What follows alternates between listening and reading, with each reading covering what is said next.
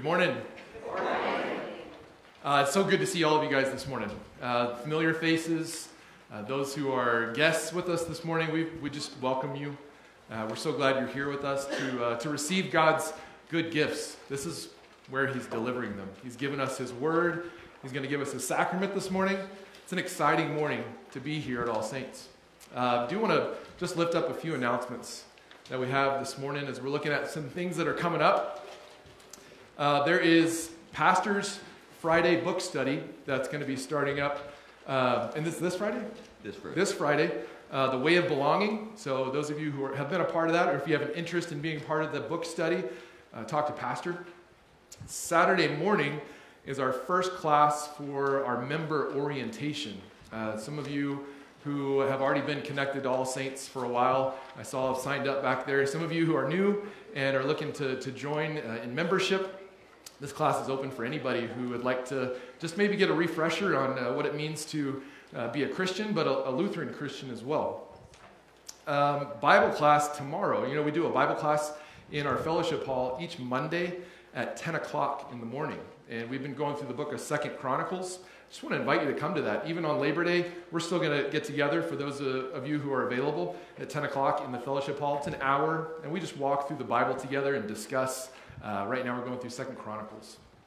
Um, Mel Thrasher's memorial event is coming up, and that's going to be uh, September 11th. It's a Wednesday at 2 o'clock. So just want to make sure that everybody's aware of that. Um, I know many of us were connected uh, to Mel in different ways. For me, it was the stories I've heard of him and the impact that he made uh, on a lot of you guys. But uh, we do want to make sure that you, if you have the opportunity, to come to that memorial. Bible class is starting next Sunday, Sunday morning at 8:45 a.m. downstairs. Uh, they're going through the hallmarks of the Lutheran faith. And if you have an interest in being a part of that, uh, see Les. He's over in the, the sound booth in the corner. Uh, if you need to get a book or if you want to get connected to that class, I'm sure he'd love to give you some more information about that. This morning, there's going to be some changes in the, the order of service. So I want to make sure that you're aware of what's going on so there's no confusion when we get to um, certain parts. We are doing communion this morning, as I mentioned, uh, but it's not in your bulletin. So we're going to do a little hybrid service. We're going to actually use our hymnals this morning when it comes to the communion liturgy. If you notice on the boards, it says uh, page 160. We're going to go through the order of uh, Divine Service 1 for communion liturgy. So when we get to that uh, portion, you can open up uh, to page 160. And then we have two communion hymns that we're going to be uh, singing from the hymnals, and you see the up there on the board as well. Now, uh, to add to some of the changes, our sermon hymn this morning, we're gonna we're gonna move that sermon hymn after the readings this morning. So we're gonna we're gonna sing our sermon hymn after the gospel reading which there's a reason for this because you're going to be standing for the gospel reading already. And if you've looked at what we're singing, it's stand up, stand up for Jesus. So we don't want to be sitting while we, stand, while we sing this song. And then to add on top of the, the changes, there's one more thing. And if you've got a pencil or something, maybe you can jot this in. Instead of singing stand, stand up, stand up for Jesus, I'd like to invite you to sing Stand Up, Stand Up in Jesus this morning. So I know this might be a little confusing. I'll help remind you uh, when we get to the, the hymn, but there's a reason for this, and it has to do with our sermon today. Um, so stand up, stand up in Jesus is what we're going to be, to be singing. Uh, which reminds me, as people who are in Christ, we're called to mission here at All Saints. And we've been talking about this mission that we, we carry out. This mission that involves three W words. I just want to know, uh, as you guys have been soaking this in, can anybody help me understand this mission a little bit more? The three W words. Can somebody give me one of them? Walking. Walking, walking together, walking alongside one another. Uh, what's another one? Say that again. Okay, we, we walk alongside uh, each other. We uh, we welcome each other, all right? And sometimes we do that while we're working together in the community or here. So, walking, we welcome, and what else do we do? Worship. we worship together, and that worship is coming in, right? Right? From God to us. So this morning we remember that we are people who are a welcoming people. We walk alongside one another, and we've come this morning to, to, to get God's good gifts in worship. So, as we remember that this morning, I'd like to invite you to take some time for meditation to prepare for worship. Uh, whether it's a, hymn that you'd like to look over or one of the scripture passages, there's Bibles in your pew racks.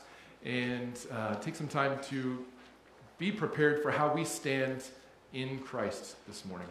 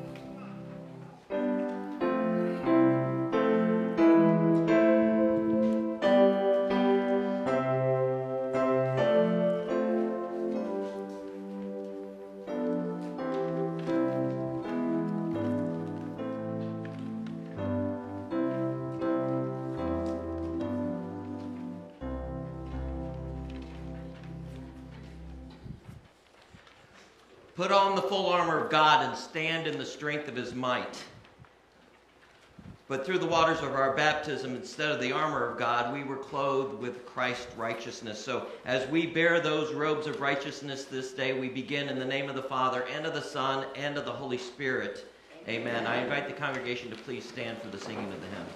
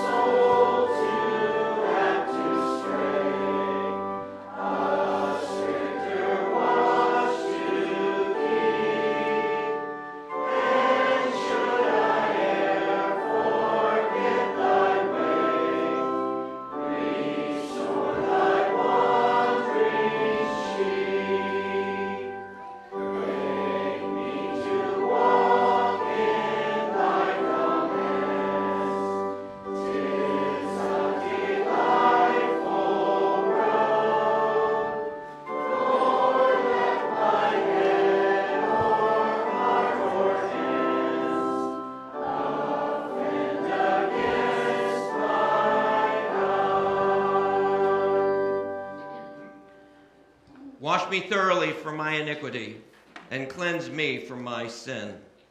We confess, O Lord, that we are by nature sinful and unclean. We have sinned against you in thought, word, and deed, by what we have done, and by what we have left undone. Purge me with hyssop, and I shall be clean. Wash me, and I shall be whiter than snow. Our own attempts at change will leave the stain of our previous sins. Create in me a clean heart, O God, and renew a right spirit within me. Lord God, you are our only hope. Forgive us, renew us, and lead us, so that we follow your guidance alone. Cast me not away from your presence, and take not your Holy Spirit from me. We come to you, confident of your mercy, for the sake of your Son, Jesus Christ our Lord.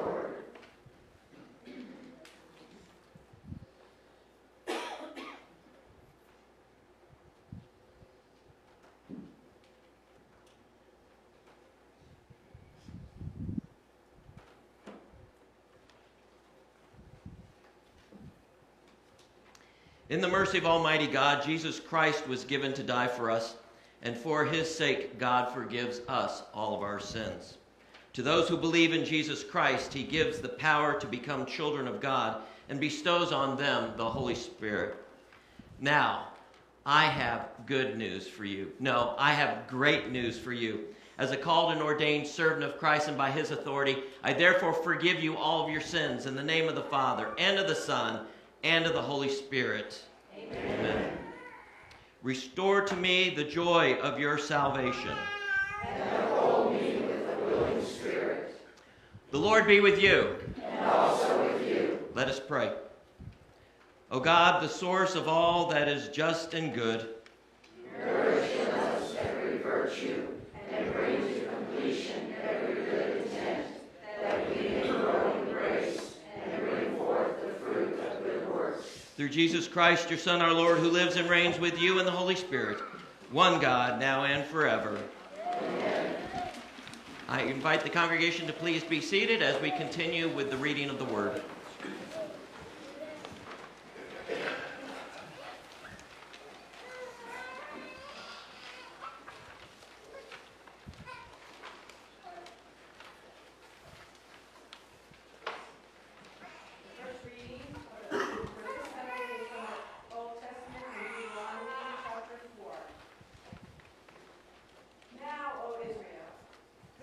the statutes and the just decrees that I am teaching you, and do them, that you may live and go in and take possession of the land that your fa- Father, the God of your fathers, is giving you.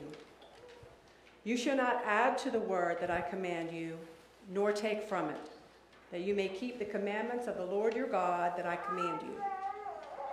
Keep them and do them for that will be your wisdom and your understanding in the sight of the peoples, who, when they hear these statutes, will say, Surely this great nation is a wise and understanding people. For what great nation is there that has a God so near to it as the Lord our God is to us, whenever we call upon him? And what great nation is there that has statutes and just decrees so righteous as all this law that I set before you today. Only take care and keep your soul diligently, lest you forget the things that your eyes have seen, and lest they depart from your heart all the days of your life. Make them known to your children and to your children's children. The epistle is from Ephesians chapter 6. Finally, be strong in the Lord and in the strength of his might. Put on the whole armor of God, that you may be able to stand against all the schemes of the devil. For we do not wrestle against the flesh and blood, but against the rulers, against the authorities, against the cosmic powers over this present darkness, against the spiritual forces of evil in the heavenly places. Therefore, take up the whole armor of God, that you may be able to withstand in the evil day, and having done all, to stand firm. Stand therefore, having fastened on the belt of truth, and having put on the breastplate of righteousness, and as shoes for your feet, having put on the readiness given by the gospel of peace. In all circumstances, take up the shield of faith with which you can extinguish all the flaming darts of the evil one. And take on the helmet of salvation and the sword of the Spirit, which is the word of God, praying at all times in the Spirit with all prayer and supplication. To that end, keep alert with all perseverance making supplications for all the saints, and also for me, that words may be given to me in the opening of my mouth boldly, to proclaim the mystery of the gospel, for which I am an ambassador in chains, that I may declare it boldly as I ought to speak. This is the word of the Lord. Thanks, Thanks be to God.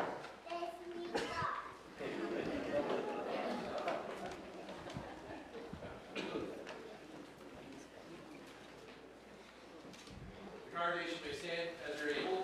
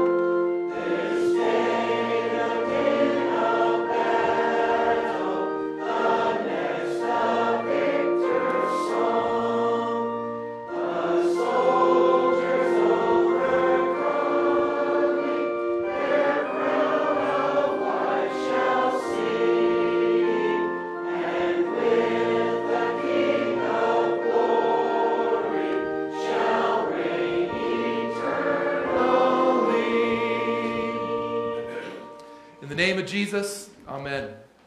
Congregation may be seated. I remember growing up in, in Texas, and oftentimes we would go to, to Six Flags. I don't know if anybody's been to a Six Flags, but ours was Six Flags over Texas. And I can still remember the first time that I was actually able to ride one of the big boy rides. I finally met that 48 inch requirement, and I was able to go on the, the Judge Roy Scream. That was the name of it. Now, the funny thing is, I'm, I'm kind of afraid of heights. I don't know if anybody's in, in the same boat as me, but, but I love roller coasters. There's something weird about that because if you're on a roller coaster, you're dealing with, with heights. But there's, there's something about when I get in that, that, that roller coaster and I'm strapped into the harness, I feel, I feel secure. Feel confident that that harness is going to do its job. Now, ever since that first ride, I've gone on other ones, you know, some that are a little more intense with loop de loops and the twists and turns. And I'm one of those riders that has my hands up the whole time. Is anybody in, the, in that boat with me? Hands up, riders? Okay. Now, this, this security that I feel is not because of something within me. If I'm standing up on the same heights outside the roller coaster, I'm going to be terrified.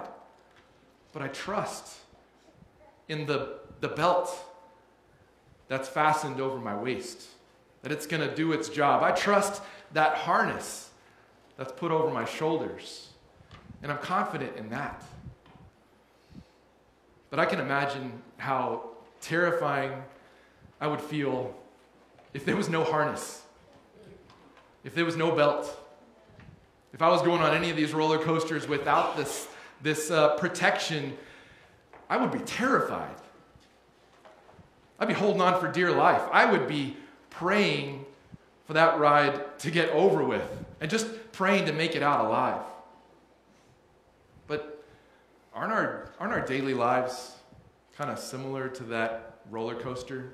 I mean, some days are more intense than others with the, with the twists and the, and the turns and the, and the loop de loops that get thrown at us. And it might leave us wondering you know, how can I stand strong and confident in the midst of a turbulent ride called life? At every corner, it seems like there's some spiritual attack that's coming our way, that's waging war against us. You know, we're lured and enticed by the temptations of this world. Each of us is not, we're not immune to this. We feel this, this attack. Sometimes, some days, we might even, we might even lose our stability and stumble. And that's why Paul's words from Ephesians 6 today are so, so good for us. Because what he encourages us to do, he says that he wants us to be strong in the Lord and put on the whole armor of God so we might stand firm against these, these spiritual forces of evil. Now, it can be easy to look at this passage and, and maybe just think of it like another burden, something else we have to do. I've got to put on this belt and this helmet and this breastplate, and I've got to carry this sword. You know, we've got to have the right shoes on. But it's not like that at all. You know, just like we changed the, the words of the hymn a little bit stand up, stand up for Jesus. I want you guys to be comforted that we stand in Jesus. Up to this point in Paul's letter, he's reminding the church in Ephesus, and we've been talking about this each week, that we are and they are in Christ. We were securely fastened into Christ's personal armor when the waters of baptism flowed over our heads. You know, it's Christ who empowers us to stand confidently against the attacks of Satan and the forces of evil. You know, this is a battle that we do not fight alone. But I know for many of you guys, it's becoming harder and harder to stand. Maybe it's a, a knee surgery that you've had. Maybe it's a, a hip replacement. Or just a strain on your back. They all make it hard to get up on your feet and remain standing. And just so you guys know, when, when Pastor or I invite you to stand, we don't want that to be a burden on you. That's an opportunity to stand, but it's not. There's nowhere in Scripture that mandates that we stand during parts of the service. So stand as you're able. Let that be something that, if you are able to stand, that we do so out of reverence for God. You know, these, these aches and pains of our bodies, they're oftentimes accompanied with other types of aches and pains mental, emotional, and spiritual pains. You know, these, these things weigh us down, and they all make us question sometimes when is all this pain and suffering going to end? This reminds me of a good friend of mine uh, named George. George was one of the oldest members of our congregation in the, the first church I served back in Texas as a youth minister. And George would, he had this like slow shuffle about him. He'd, he'd, he'd get from here to there, maybe a little slow, but he would have a quick word to catch you off guard every time you saw him. Now, I was, I was young and foolish right out of college, and, but George was a person who gave me a lot of encouragement throughout my ministry there in Texas. And he would always remind me who I was in Christ. And he lifted me up, he lifted me up when I needed it. And I really loved seeing how, especially how George's confident faith, it impacted not only his children, who were strong members of our congregation, but even his children's children, as we read from our passage in Deuteronomy. You know, his grandsons, John and Brian, were a part of my youth group, and, and I know that they were just so proud of their grandfather. They admired his faithfulness. After a, a few years after I had left Texas, uh, I got word that, that George had lost his slow shuffle. And he spent the last couple months of his life in a hospital bed. You know, although his physical posture had diminished and his body was weakened, he still stood confidently in the promises of God. You see, when George was baptized, Christ wrapped him in his righteousness. He wrapped him in his personal armor. And even to the point where George couldn't physically stand any longer, he was being held up by the arms and armor of Jesus. He had been nourished by Christ's own body and blood, which strengthened and preserved him throughout his life and now into eternity. You know, on this side of eternity, standing firm against the schemes of the devil, it can be a punishing ride with twists and turns at every corner. There's temptation with every loop. It's almost like this, uh, this wrestling match Paul talks about in Ephesians 6.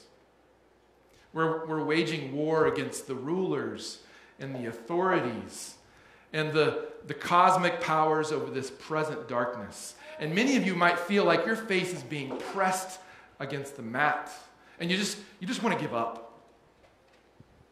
You're ready to tap out. You might find it exhausting.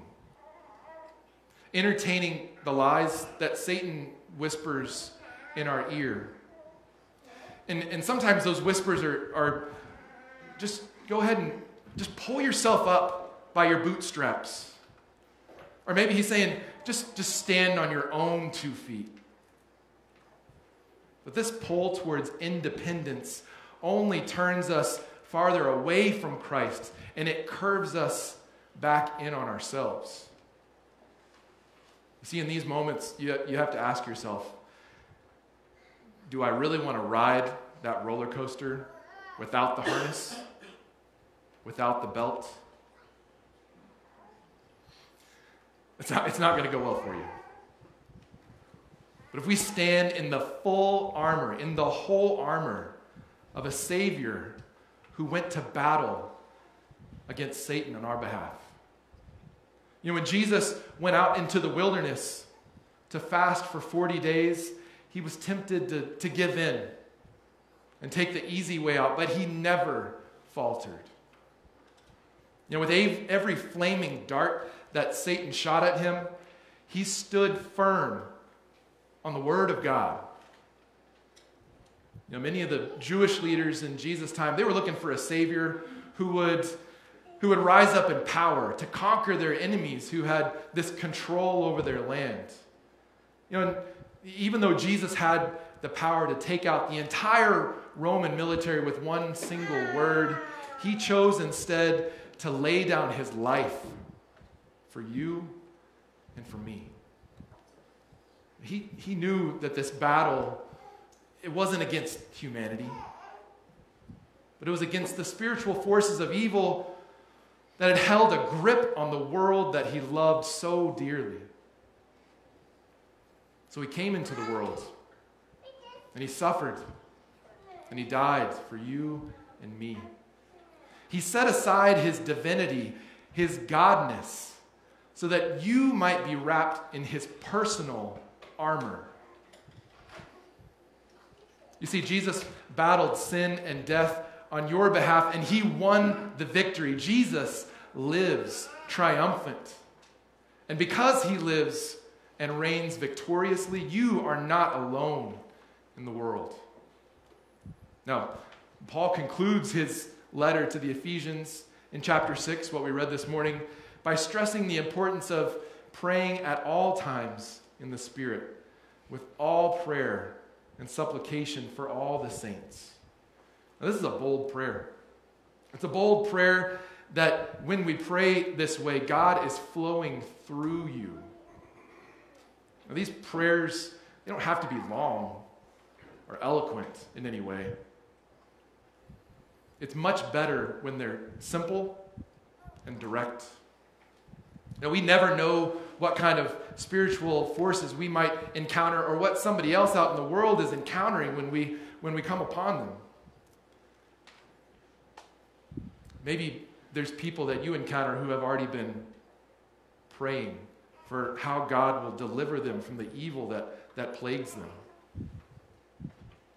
You know, it's in these moments we have to be ready with our armor on to encounter people who are dealing with unimaginable uh, difficulty in their lives. In fact, I was just talking with Lisa the other day. She was sharing this in our, our Wednesday uh, Bible study about an experience she had at, at Ingles. And uh, after placing her order at the deli counter, she just, just natural conversation asked the gentleman, How's your day going?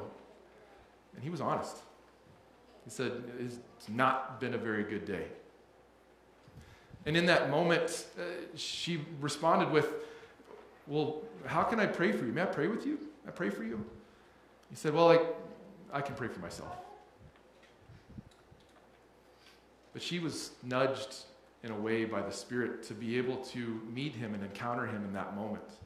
Not with anything long or, or eloquent, but with a bold prayer. All she said was, Lord, I know what's weighing heavy on, your, on, your, on my friend's heart this morning. Lord, you know what's weighing heavy on my friend's heart this morning. Give him peace in Jesus' name. It's 17 words, seven seconds. She was able to boldly witness to the peace that passes all understanding. She stepped into the battle that he was facing and let him know that he was not alone. This bold yet simple prayer allowed him to encounter the living God in that moment. So when we see others who have fallen down, you know, this image on the front of our bulletins shows somebody who's physically fallen down. Somebody else is reaching to, to pick them back up. But whatever the circumstances, whether it's emotional, spiritual, physical, we reach out and we pick them up. And we stand with them in prayer. And we do this knowing we don't stand on our own two feet. We don't do this by pulling ourselves up by the bootstraps and, and standing on our own confidence. We stand confidently in the armor of God, which is Jesus. We stand in truth and righteousness, peace and faith confident in our salvation and leaning on God's word, we pray with and for each other. So, as we sang earlier, remember, we stand up, stand up in Jesus. And we know that his personal armor covers us with his righteousness, and he defends us from the evil one. It's Christ who empowers you to pick others up when they're down. And it's his armor that gives you the strength and confidence to stand boldly in him. Now may the peace that passes all understanding open up your hearts and minds in Christ.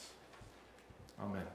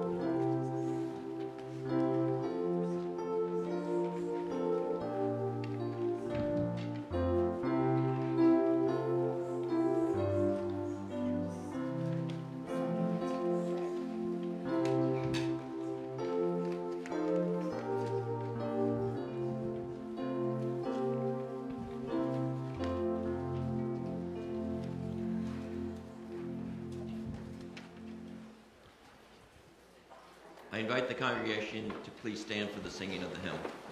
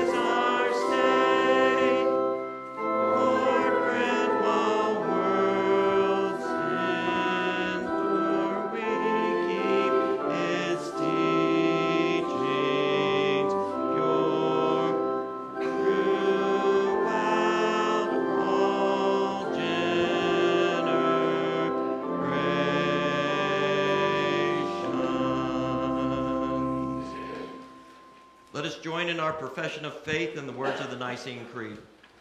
I believe in one God, the Father Almighty, maker of heaven and earth, and of all things visible and invisible, and in one Lord Jesus Christ, the only begotten Son of God, begotten of his Father before all worlds, God of God, light of light, very God of very God, begotten, not made being of one substance with the Father, by whom all things were made.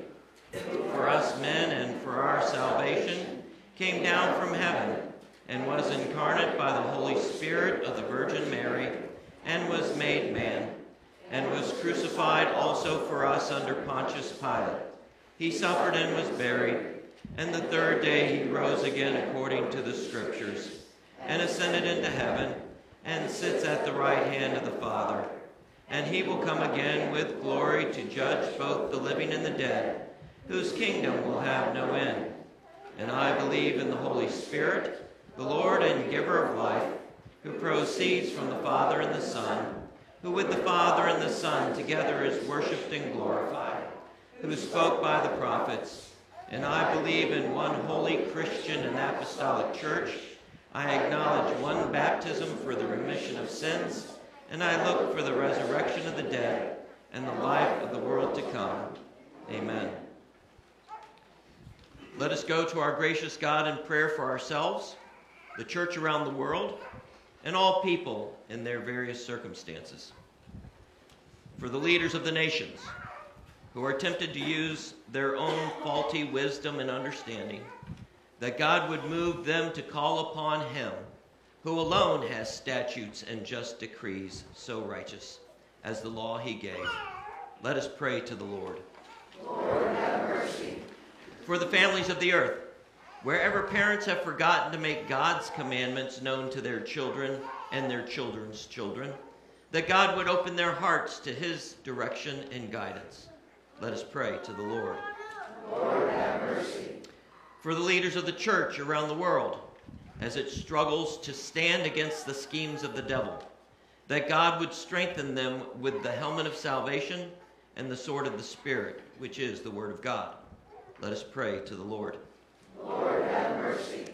For those people near and dear to us dealing with illness, mourning the loss of loved ones, needing adequate food, clothing, and shelter, and having other concerns especially this day. We pray for Dan Meyer as he continues to progress and is going home on Tuesday.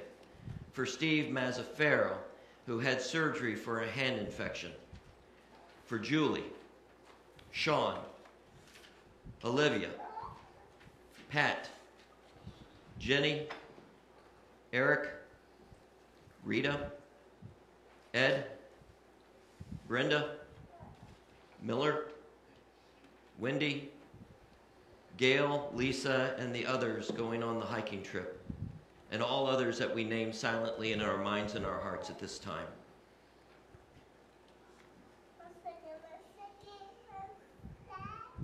That God would answer our prayers for them as we make supplication for all the saints. Let us pray to the Lord. Lord, have mercy. For ourselves and all who recognize that by ourselves and our fallen condition, what comes out of a person is what defiles him. That God would strengthen our faith to rely on his grace and mercy alone, that he may use us and the gifts he has given us. Let us pray to the Lord. Lord, have mercy. Create in us clean hearts, O God, and renew right spirits within us. We pray this in the name of your Son, Jesus Christ our Lord. Amen. I invite the congregation to please be seated for the singing of the hymn.